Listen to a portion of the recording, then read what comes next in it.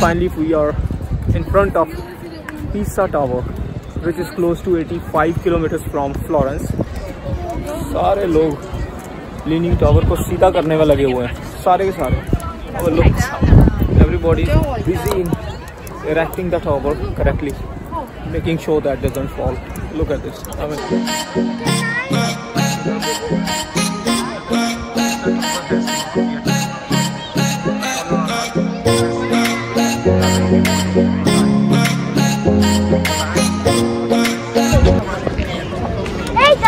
know what?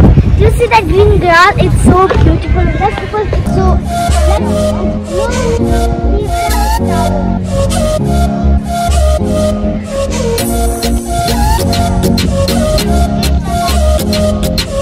Uh, the tourists call it Pisa Tower, but when I read from the documentation, they have written it's a clock or bell tower, what you call Gantaghar in Hindi.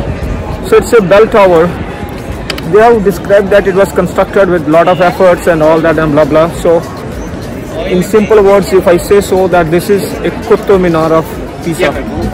You see, lot of people might not have seen the Qutub Minar. They should also go to the Qutub Minar. That's that is also one of the historical and beautiful building. But this this tower has its own significance.